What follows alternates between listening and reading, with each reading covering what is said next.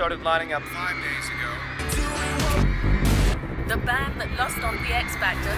Selling out their entire tour in hours. Because of you, we're number one in 37 countries. We never expected any of this to happen.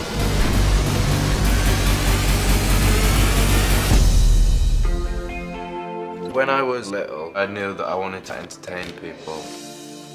Wherever I went, my dad used to tell people that I could sing.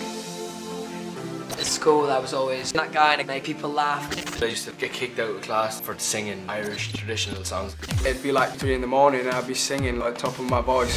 That was where it kind of started. Oh, baby, baby, I don't know if you could have more of a dramatic life change. Just look at that. Like, it's absolutely amazing. We tried to stay away from the typical boy band thing. Like choreographed dance routines. Okay, on the top. We're normal people doing this abnormal job. They're a bit tight.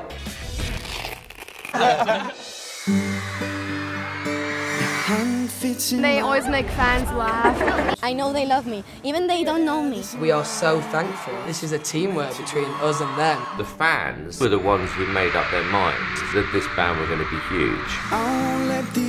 The hardest thing about the travel is missing home. We just come from normal working class families. You know the stand-up boys? I want a Louis one. I can just go and say goodnight. That's my favourite hair on Liam. I miss my son so much. Sorry. If I let you know Hello, sunshine. I know you always used to say, I'll get your house when I'm older. for you, Congratulations. Thank you. It's lovely.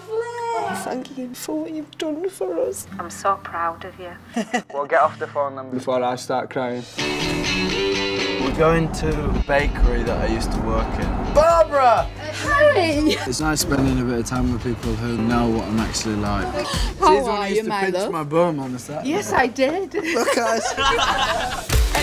when you come somewhere completely new, it's really exciting. the What is it? Miso soup. Miso soup. And you pour it into your rice. No, I think you drink it. You drink it, you drink it, you drink it. Make some noise! As a group, you've always got people to share your experience with. They're not wrapped up in everything. Hey, keep their lens up here. Just five normal lads having the time of their life. We love you, One Direction. Hang on, we've got something here. We dance